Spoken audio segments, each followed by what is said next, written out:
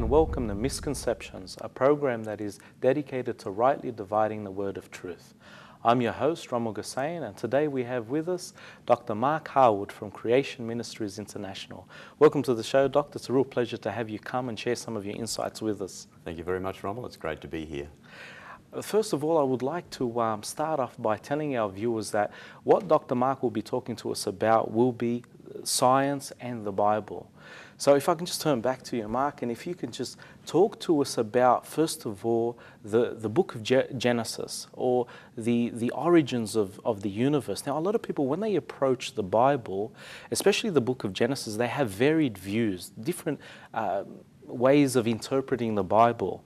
Now, what does the author um, teach us, particularly in this book? Well, the book of Genesis is a book of beginnings. So it tells us what happened right at the very beginning. Now, we talked about in one of our previous sessions about how the Bible is, in fact, the correct holy book. It's God is the ultimate author through His Holy Spirit, working through the human writers who, who uh, wrote the actual words that we read today in the mm-hmm. original languages. So the challenge is often made because the book of Genesis was originally written in Hebrew. How can we be sure that what we're reading today is correct? and how can we be sure that we are interpreting it correctly? Yes. And so I thought it would be helpful if we looked at some basic principles, I guess, of how to interpret the Bible, how to make sense of what we read. Mm-hmm. And I guess the first thing to say is that because the Bible is God's Word, then we should always make sure that we interpret the Bible with other parts of the Bible. In other words, we don't take this book and say that um, man's opinions actually override it or mm. are more important than it. So we don't use man's opinions to interpret the Bible. Mm-hmm. We, in fact, start with the Bible and use that to base our opinions on. Mm. It's got to be an authority base. Absolutely, you know, yeah. absolutely. And if it is indeed God's word, which we believe it is, then you would expect it to be an authoritative book. Mm-hmm.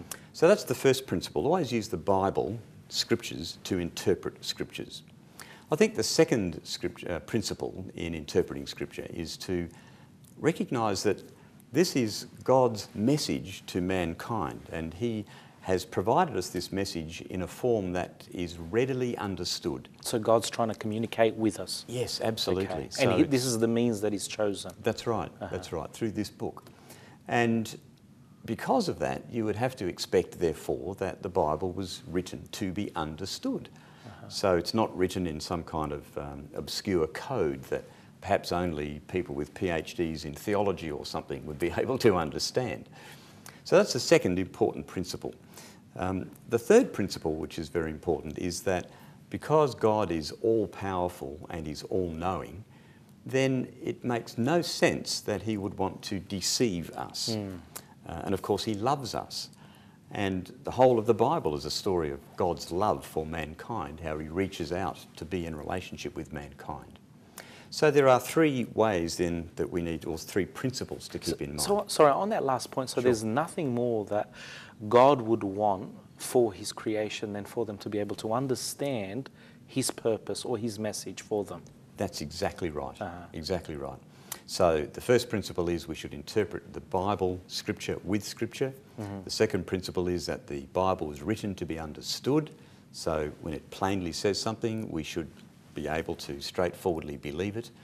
And uh, the third principle is that God would not deceive us. So if He plainly says something, then we can accept it as being the truth. Mm-hmm. I once heard uh, an old saying that went like this it said, If the plain sense makes sense, then we should seek no other sense, lest it be nonsense. Well said. so, given those fundamental principles, and perhaps I could add a fourth one, because this book is in fact God's word, and because we're talking about spiritual things, uh-huh. then we, it's always good to invite God's Holy Spirit to reveal the truth to us as we read His book. Mm-hmm. Because as we do that, then we can understand not only with our heads, but also from our hearts what God is seeking to impart to us. Mm-hmm. All right, so now we've taken these principles and we're ready to apply them. What's the picture that emerges? Well, the Bible begins by telling us in the very first chapter of Genesis that God created everything in the heavens and in the earth in six ordinary days. Six literal days. Six literal days, just Wow. like you and I experience today. Uh-huh. And we know that because there is a number next to each of the days in Genesis chapter 1. And you can test this in any language you like. If you place a number next to the word day, it always means a 24 hour day. Now, day can mean different things, like I could say to you, um, in my father's day, meaning some indefinite period of time in the past.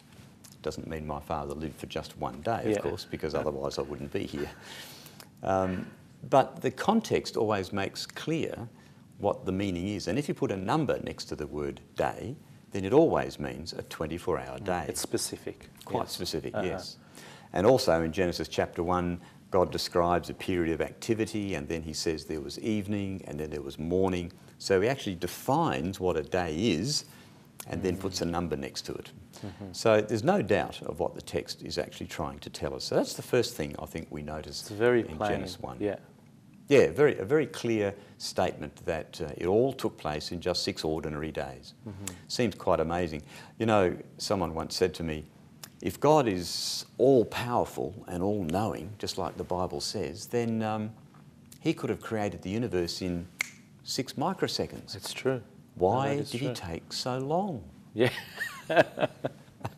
and it's a good question, isn't it? that is, yeah. But the reason God took so long is because he laid down a pattern for us. Uh-huh. And in fact, we read about that in uh, Exodus chapter 20, verse 11, where it says, For in six days the Lord made the heavens and the earth and all that is in them, but he rested on the seventh day. So God laid down a pattern for our benefit.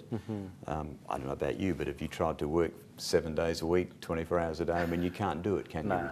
We just burn out. exhausted, yeah. We need to be able to have a period of rest. So that's why God took as long as he did. Okay. And then the next thing we read in the opening chapters of Genesis is that man chose to rebel against his creator. And that was a tragic thing, but that act of rebellion ushered in suffering and death and all the bad stuff that we see in the world today. Like as a consequence? As a consequence, that's Okay. right. I, I think of it like this Man chose to cut himself off from the source of all life. And if you think about it, the only possible result that can come from that is death. And that's exactly what happened. Now, he didn't die instantly, of course. So specifically here we're talking about the original, our original parents, Adam and Eve. Adam and Eve, that's right. That's right. Uh-huh. Their act of rebellion against God separated them from God. They were separated spiritually immediately, and it set in motion these inevitable processes of decay and then finally physical death. So that's the next important thing that we read in the opening chapters of Genesis. Now we know that before Adam's rebellion, the world was perfect because God had declared it to be. In Genesis chapter 1, verse 31, Wow, he said, It is very good or perfect. Mm. And that's really hard to imagine. Isn't Really, it? It's hard for it- us to imagine, yeah. yes. Wow. Because we live in this world which is uh, what you could call a fallen world Yeah. or a broken world. It's not the original Exactly. perfect world that I mean, God I'm, made. I'm just mentioning that just as a passing comment because God created it to be perfect. That, That's that right. was his, yeah. That's right. In fact, Uh-huh. everything God does is perfect. Mm. He's, he's not disorganized or unable to make something properly. Mm-hmm. Um, he made the original creation perfect. Mm-hmm. And then as we go on, we read that great wickedness spread out over the face of the earth, so much so that God resolved that he would judge the face of the earth with a global catastrophic flood that would cover the entire earth.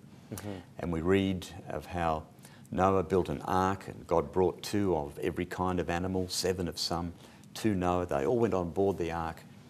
And then the floodwaters came and wiped out all of the uh, land dwelling and uh, air breathing creatures that were on the face of the earth. Only those with Noah on board the ark survived. And that was a global catastrophic event. And we see evidence for that in the world around us today. And, and in some later sessions, we'll talk about those evidences. And after that, we read that uh, in Genesis chapter 11, uh, there's this amazing story of how God came and confused the languages of the people. Mm. You see, up until that time, there'd only ever been one language spoken on the face of the earth. Mm-hmm. And if you think about it, it makes sense, doesn't it? Adam and Eve would have had a language, That's and they right. taught their children, who taught their children, who taught their children, um, and so on. And man, however, was still rebellious at heart, even after the flood. And God had told them to spread out over the face of the earth, but they all gathered together in one place, on a plain called Shinar, it says in the Bible. Mm-hmm. And there they built a great city that was going to have a huge tower Yeah. and they were going to make a name for themselves. So God came down and confused the languages of the people. Now, that is the origin of all the different language groups we have today, all the different ethnic groups, and so on, because the people then spread out, they scattered away from Babel as soon as God had confused the languages. Mm-hmm. That's an amazing thing. What you're doing here is you're showing that through the book of Genesis, we're able to understand all these things rebellion, death, sin, languages. You're even able to explain to us some of the consequences of the judgments of God in terms of, you know, uh, Noah's Ark and, and the global flood that occurred there.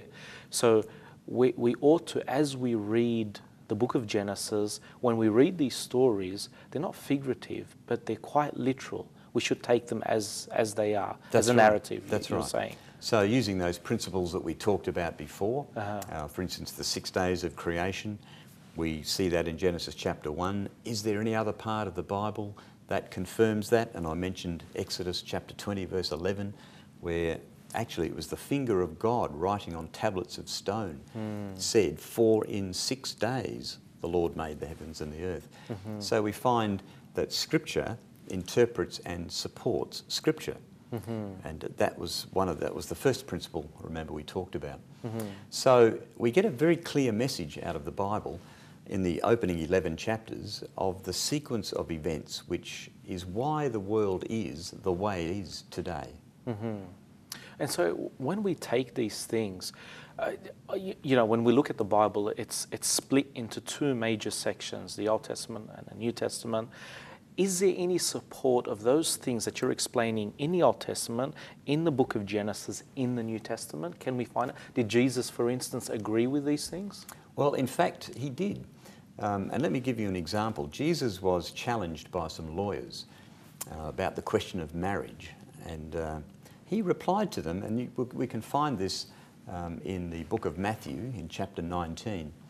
And uh, he said this Haven't you read, he replied, that at the beginning the Creator made them male and female, and said, For this reason a man will leave his father and mother and be united to his wife, and the two will become one flesh. So, what Jesus was doing was quoting from Genesis chapter 1 and Genesis chapter 2, actually, in giving that answer about the purpose of the creation mm. of mankind as male and female. See, God created us male and female so that marriage would be possible. Mm. But notice what he says at the beginning. He said, the, the, the commencement of that quotation, that at the beginning, he says, the Creator made them male and female. Now, if the Bible's account of history is true, we read on the sixth day of creation, God made Adam and Eve. So, from Jesus' standpoint, 4,000 years earlier, according to Bible timelines, would have been when the creation took place. Mm-hmm.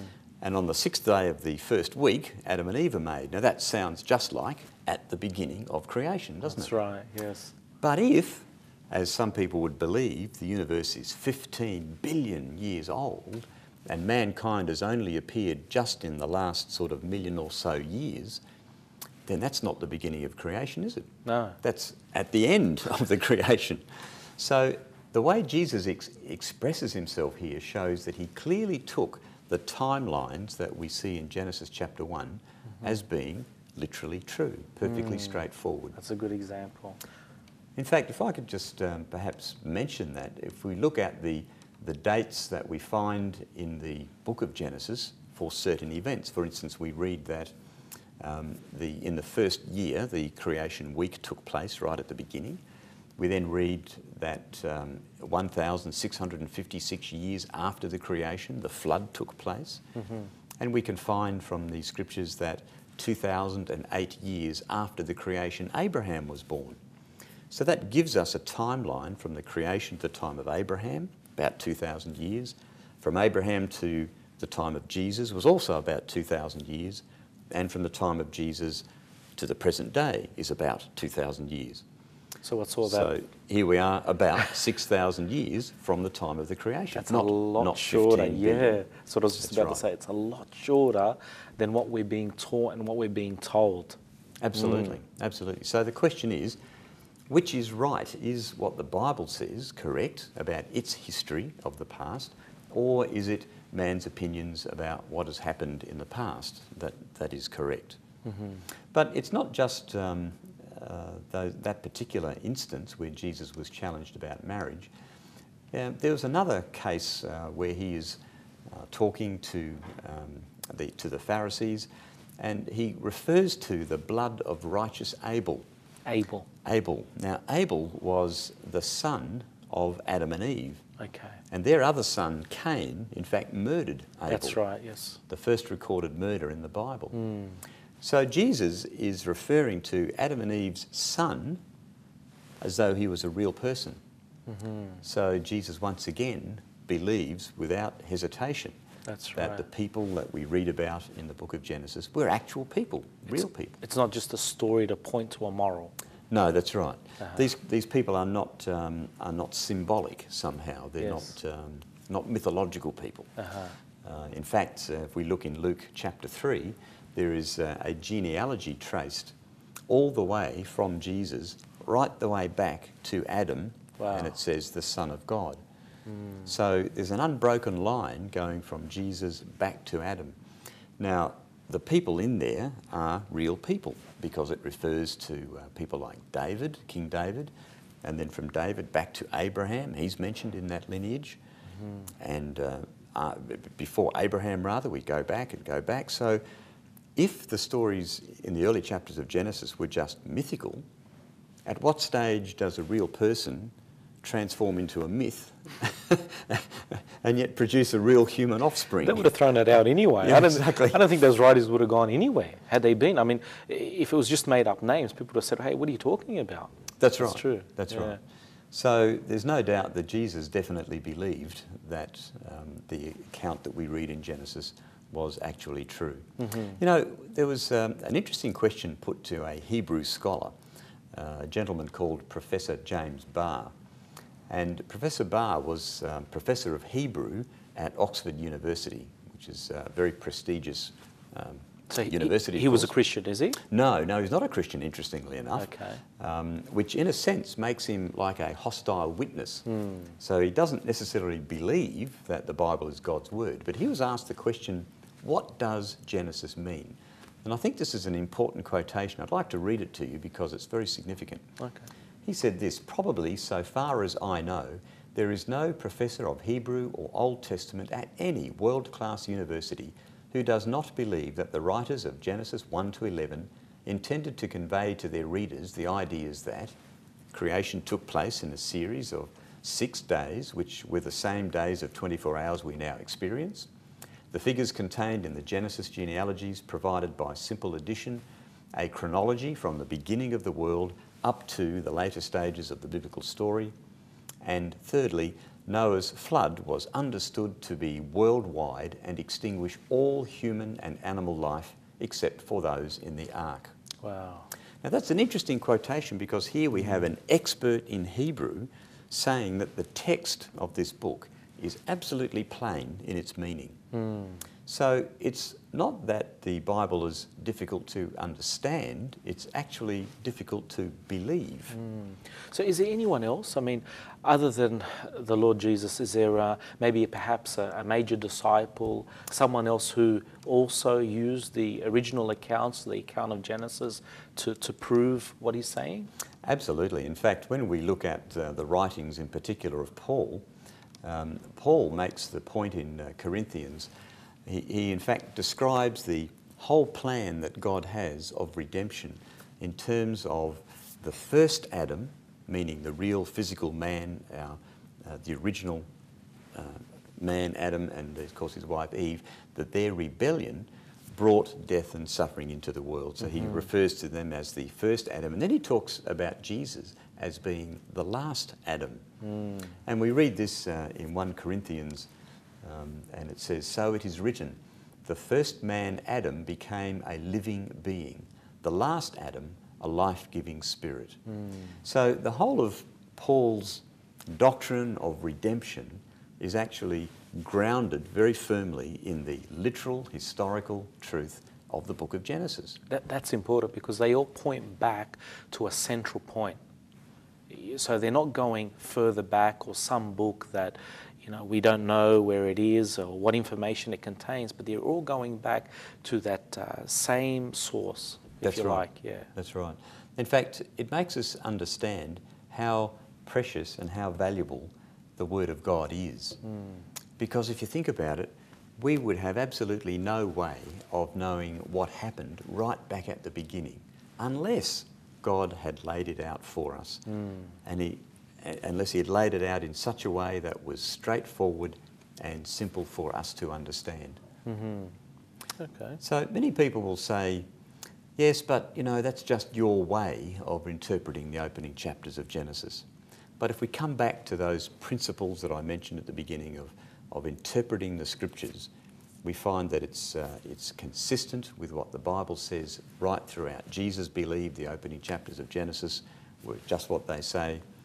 The Apostle Paul's whole doctrine of uh, redemption was based on it. And in fact, there's a couple of other interesting ones. Let me just um, mention them. There was another occasion when Jesus was making reference to those opening chapters in Genesis. And on this occasion, he was talking about his second coming, how he's going to come back again in glory this time. And he described it like this, and we read it in Matthew chapter 24, verse 37. He says, As it was in the days of Noah, so it will be at the coming of the Son of Man.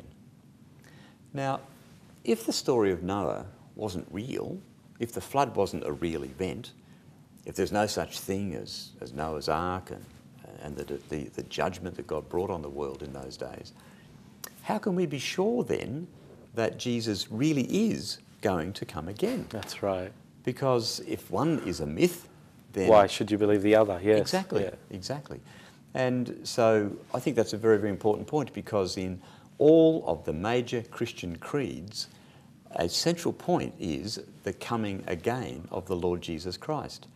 Only when he comes again, he will not come as the suffering Messiah, he will come as a ruler and judge, and he will bring about the end of the age. Mm-hmm. So it will be a triumphal return when he comes. But if it's like it was in the days of Noah and they didn't ever happen, how can we ever be sure that such a thing will, in fact, really occur?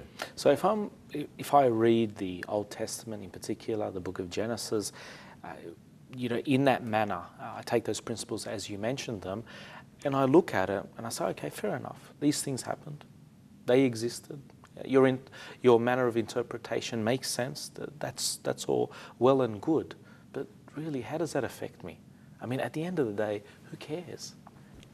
Well, that's a, a question that a lot of people ask, and that gets right to the nub of the issue, of course. Who cares? Well, you know, because we were made, as the Bible tells us, in God's image, we have an eternal spirit and soul.